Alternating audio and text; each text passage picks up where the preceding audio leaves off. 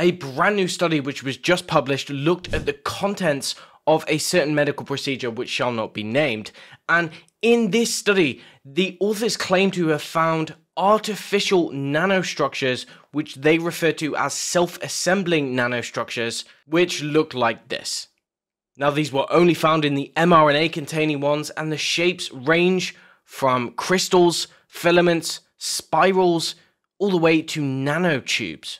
They found that the shape of these changed over time and were particularly responsive to external electromagnetic fields. But before you get excited, there are some serious problems with this study. First up, there's no publicly available ORCID record for this researcher, so we don't know if she's published anything in the past and what training she has. Next, she's a gynecologist and whilst that might not necessarily be a problem, we really want this study being done by molecular biologists who have the resources and the tools at their disposal to be able to make sure this was a valid study. Next up, the lab isn't registered from anywhere that I can see, and therefore we have no way of knowing that it's actually a sterile environment. What this means is that the things that we're looking at right here could simply be artifacts. With that in mind, whilst I'm not a scientist, I think we have to be very, very cautious about these results. But even if we discard the study as bunk, you might not know that there are numerous other accounts. We're talking like more than 40 or 50 individual accounts of scientists with genuine expertise in the field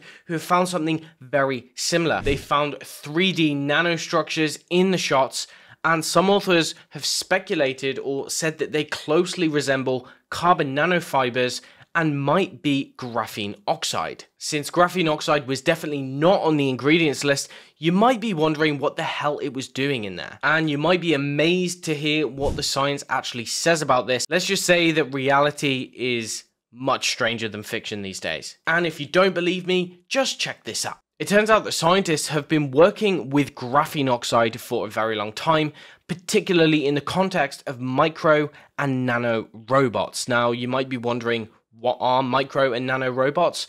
Well, these are basically tiny little machines, pieces of technology.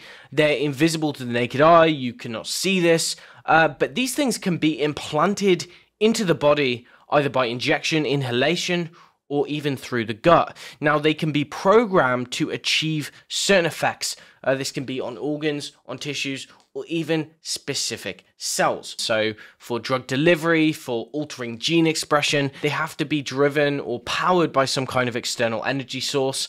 Um, this can be body heat, it can be UV light, but a lot of the research is looking at external magnetic fields to power these things and they can be used as what are called biosensors. So they can receive information um, from external sources or from internal sources, and then they can transmit that information. Think of it a little bit like a chip or like a tiny, tiny, tiny uh, Wi-Fi router, which is in the cells, and and it can literally um, absorb radiation and transmit information to external sources as well. And on this topic, you can see from this paper, these researchers recently developed a remote controlled probe which was able to target specific cells.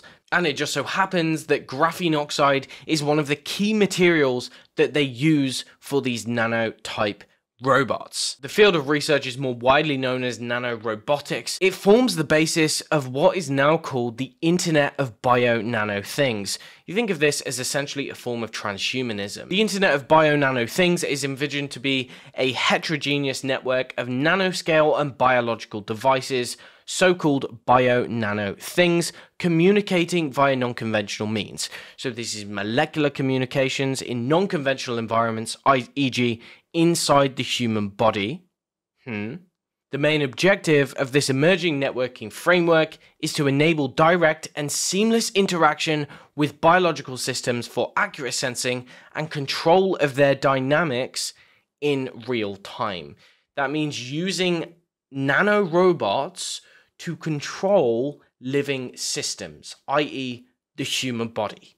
Okay? Of course, this new frontier of technology has been framed as a medical breakthrough which will revolutionize treatment of chronic disease. However, it's important to realize that this hasn't just garnered interest from within the medical field. In fact, the key players who are funding this research include the likes of DARPA and other military intelligence agencies.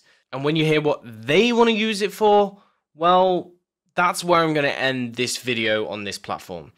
Like I said, catch me on Rumble for the rest, and trust me, you do not want to miss this story.